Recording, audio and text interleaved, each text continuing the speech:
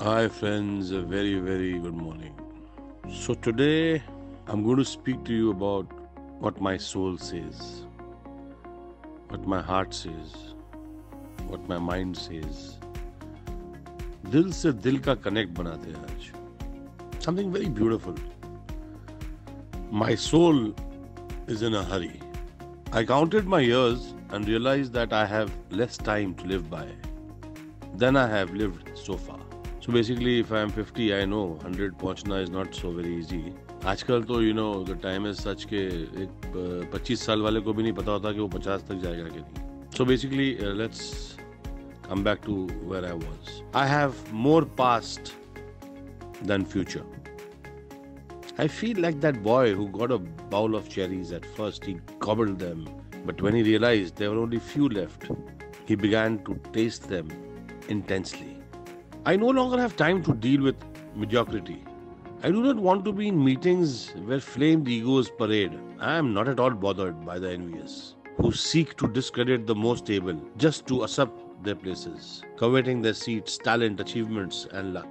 I do not have time for endless conversations, useless to discuss about the lives of others who are not part of mine. I no longer have the time to manage sensitivities of people who, despite their chronological age, are immature. I hate to confront those that struggle for power, those that do not debate content, just the labels. My time has become scarce to debate labels. I want the essence, not many cherries in my bowl.